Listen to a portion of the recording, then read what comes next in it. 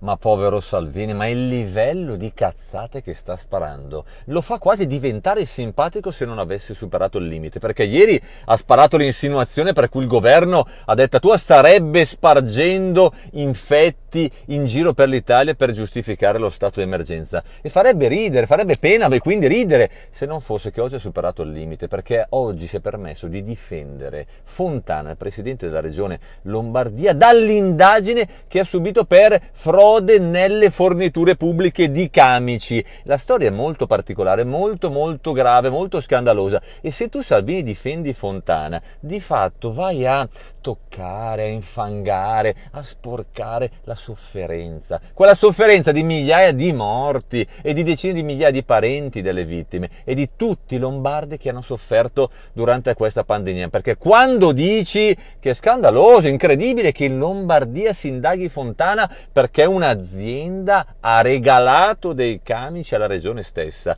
ti stai dimenticando di dire che quell'azienda per il 90% di proprietà della, eh, del cognato di Fontana e per il 10% della moglie di Fontana e che quella non era inizialmente una donazione ma era una fornitura scritta nero su bianco dove si era scritto 513 mila euro che poi quando un giornalista di Report si è accorto di questa faccenda poco chiara è stata trasformata in donazione, quindi altro che donazione. Quindi